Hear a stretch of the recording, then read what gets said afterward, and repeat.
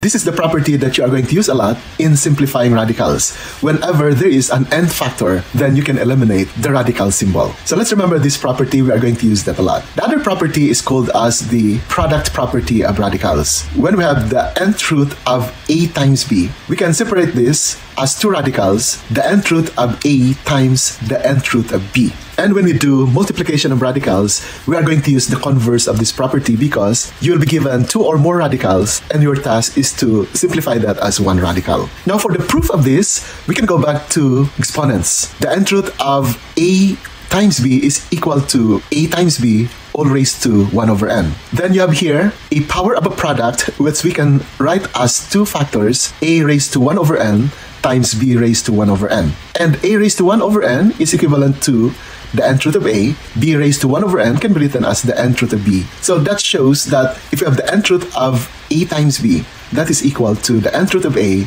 times the nth root of b, applying our laws of exponents. Let's remember that property as well, and let's proceed to the last property that we are going to use in this lesson, the quotient property of radicals. When you have the nth root of a over b, that is equal to the nth root of the numerator divided by the nth root of the denominator. We can show that this is true using, again, the exponential form of the number.